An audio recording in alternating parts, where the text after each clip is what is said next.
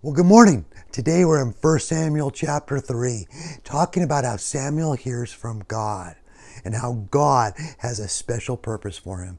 So, enjoy our puppet skit. See you at the end.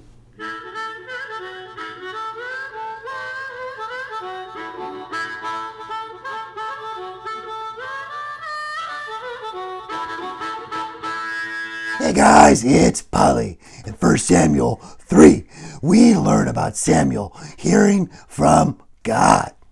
Oh, so God actually spoke to him. Yep, because God has a special purpose for our lives. Well, uh, what did God say?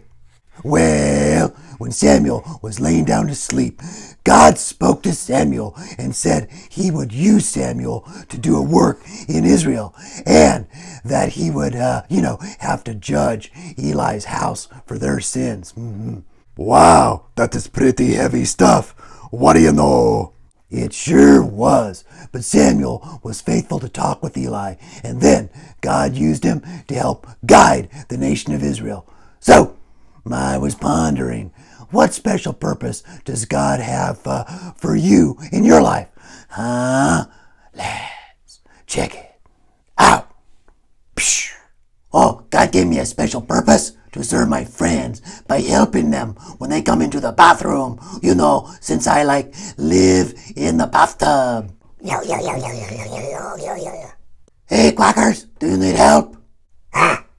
I just brushing my teeth. Oh, okay. Well, brush those teeth anyway, man. That's great. You're doing good. Hola, Benny. What are you doing? Hmm? Oh, I'm just using the toilet, Sancho. Thank you for asking. Oh, that is bueno. Can I help you with anything? Uh, no. No, no, no. I am fine. Oh, okay. Well, let me know if you need like more toilet paper or anything like that. Okay. I just need to be left alone now. You go, uh, you go away, okay? Bye bye. God gave me a purpose to be a servant and to take care of this bathroom, even though, you know, some people may not understand. Bye, Benny. And now it's time for deep thoughts with Blub Blub. Oh, yes, God has big plans for Samuel's life, just like He has big plans for you. If you believe that God has big plans for your life, oh, you gonna be blessed. Guaranteed.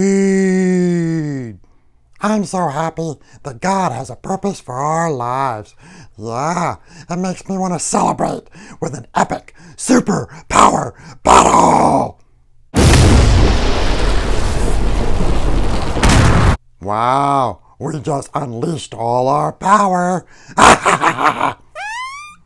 Oops, excuse me. Jesus loves you. I will see you later and good bye.